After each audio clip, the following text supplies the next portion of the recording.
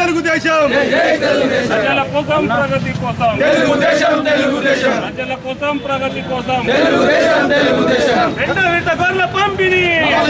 రెండో విడత గొర్రెల పంపిణీ. రెండో విడత గొర్రెల పంపిణీ. రైతు లేనిదే. రైతు కుంభకోణాలు దోసుకో దాసుకో ఇవి తప్ప చిన్న పిల్లానికి చదువుకున్న పిల్లానికి ఉద్యోగం రాకపోతే ఆగురా బాబు. కాళేశ్వరం అవుతుంది. తిండికి లేదు బియ్యం వత్తలేమంటే కాళేశ్వరం అవుతుంది ఆగు. అంటే ఇటువంటి ప్రతిదానికి కాళేశ్వరం పేరు చెప్పడం తప్ప ఇంకో సబ్ ఇంకో సబ్జెక్ట్ అనేది లేదు.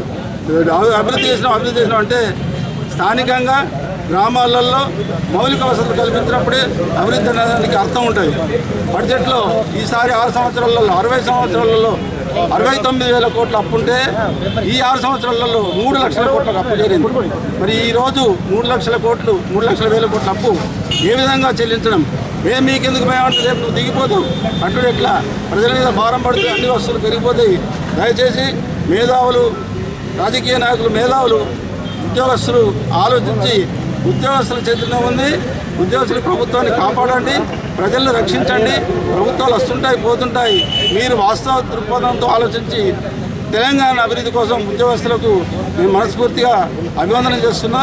మీ చేతుల్లో ఉంది ప్రభుత్వం. లేకపోతే తెలంగాణ సర్వనాశనమే అవకాశం ఉంది. అవసరమైన దానికే మీరు ఒప్పుకొని అవసరం లేని దాన్ని వ్యతిరేకించండి. ప్రభుత్వాన్ని వ్యతిరేకించండి అని చెప్పి సందర్భంగా మనవి చేస్తూ ఇది ఇది మొదటి ఆరంభం మాత్రమే తెలుగుదేశం పార్టీ. ఇంతవరకు మేము చాలా తక్కువ కార్యక్రమాలు పాల్గొన్నాం. ప్రతి విషయానికి ప్రతినిస్తాం జగిత్యాల జిల్లాలో అభివృద్ధి జరిగేంత వరకు జగిత్యాల ప్రజలకు న్యాయం జరిగేందుకు ప్రభుత్వాన్ని వదిలిపెట్టే సమస్య లేదు. ప్రతి విషయంలో స్పందిస్తాం. చర్యలు కైకుంటాం అని చెప్పి సందర్భంగా తెలియజేస్తున్నాం. పార్టీ ఆధ్వర్యంలో ఈరోజు ప్రజావాణిలో జిల్లా కలెక్టర్ గారికి మరి మెమోరం ఇవ్వడానికి వచ్చినాం.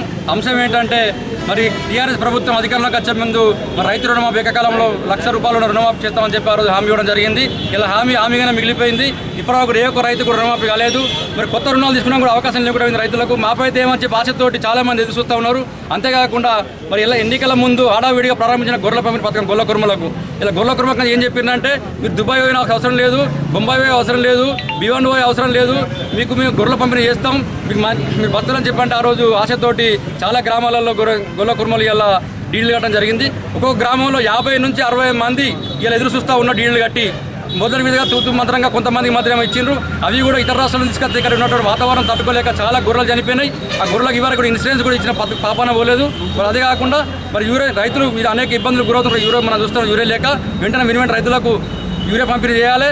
ఈ గొర్రెల కుర్మలకు ఏదైతే రెండో విడత గొర్రెల పంపిణీ కార్యక్రమాన్ని పూర్తి స్థాయిలో అమలు చేయాలని చెప్పి జిల్లా తెలుగుదేశం పార్టీ పక్షాన్ని మేము డిమాండ్ చేస్తూ ఉన్నాం. లేని పక్షంలో రైతులతోటి కలిసి గుల్ల కుర్మలతోటి కలిసి ఒక గుల్ల కుర్మ బిడ్డగా చెప్తున్నా ఖచ్చితంగా జిల్లా వ్యాప్తంగా పెద్ద ఎత్తున ఆందోళన కార్యక్రమాలు తీసుకుంటామని చెప్పి డిమాండ్ చేస్తున్నాం. రైతుల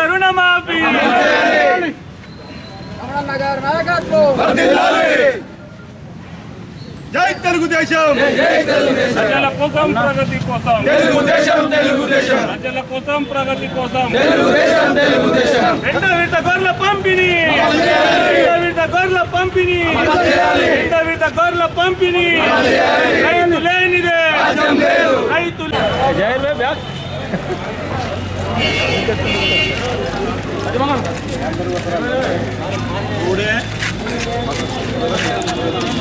అనండి రైతు లేనిదే రాజ్యం లేదు రైతు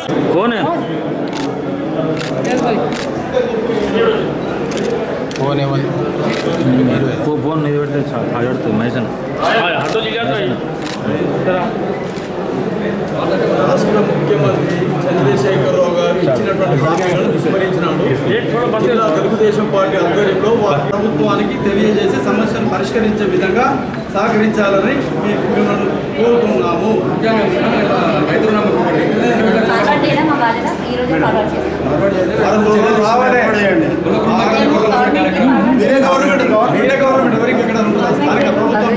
గవర్నమెంట్ మీరు ప్రభుత్వ ఉద్యోగస్తులే గవర్నమెంట్. గవర్నమెంట్ ఎక్కువ లేదు. మీరు తలుచుకుంటే మళ్ళా గవర్నమెంటే మీరు కలెక్టరేట్ నుంచి ఫార్వర్డ్ చేస్తాం మన ప్రభుత్వము మన సమస్యలను పరిష్కరించడానికి మీరు మా వంతు సహాయాన్ని అందించండి.